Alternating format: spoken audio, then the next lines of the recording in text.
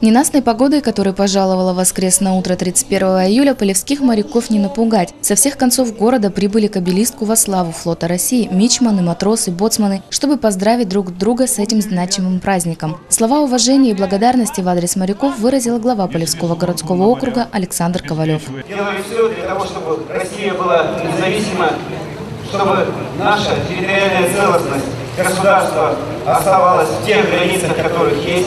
Вы с честью несли и исполняли свой долг на морских просторах, морях и океанах земного шара. Моряки в торжественной обстановке под гимн Российской Федерации подняли три значимых флага – военно-морского флота СССР, Андреевский и флаг Российской Федерации.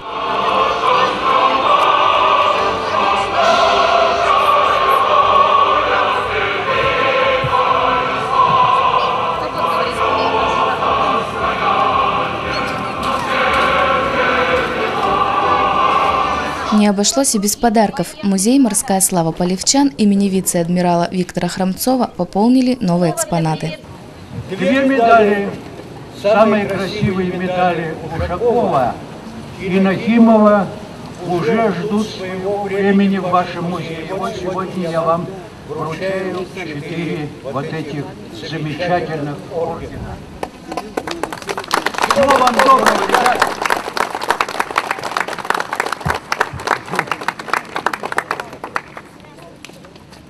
Союз моряков постарался оправдать это, этот подарок.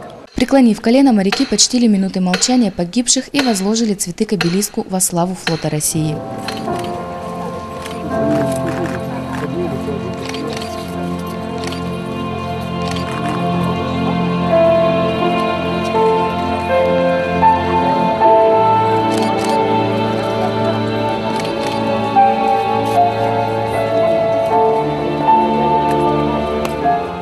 В Полевском живет немало представителей героической профессии, которые достойно служили на флоте и являются примером для подрастающего поколения. Вот и Валерий Карфидов, который отдал 4 года службы на китайской границе, пришел на праздник. То, что люди чтят наш праздник, которым отдано полностью наше это юношество, которые все в детстве хотели стать моряками или летчиками, но вот, как говорится, это, за этот праздник надо это чтить и любить его.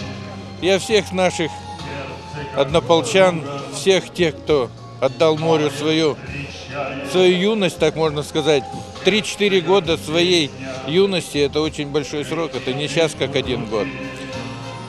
Ну и нашим полевчанам, пусть они вот чтят памятник наш, ну и празднуют. Поздравляю всех моряков, отслуживших, служащих и будущих даже, которые будут служить. С Днем военно-морского флота желаю всего, конечно, хорошего. Алина Меньшина, Константин Миронов. Новости «Твой день».